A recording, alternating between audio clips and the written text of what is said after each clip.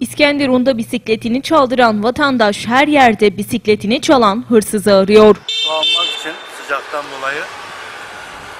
Su alıp girip su alıp çıktığımda bisikletimin olmadığını gördüm.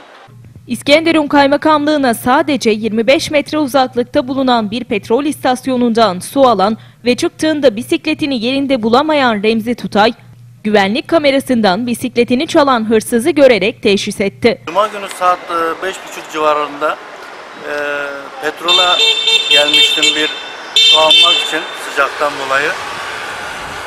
Su alıp girip su alıp çıktığımda bisikletimin olmadığını gördüm. Ve rica ettim petrol görevlilerine. Güvenlik kamerası görüntülerine baktığımızda şahsın bisikletimi alıp gittiğini gördük. Tutay bisikleti alarak uzaklaşan ve daha sonra üzerine binerek gözlerden kaybolan vatandaşın bulunması için emniyete müracaat ettiğini belirtti. Ve rica ettim petrol görevlilerine. Güvenlik kamerası görüntülerine baktığımızda şahsın bisikletimi alıp gittiğini gördük. Oradan emniyete gittim şikayetçi oldum.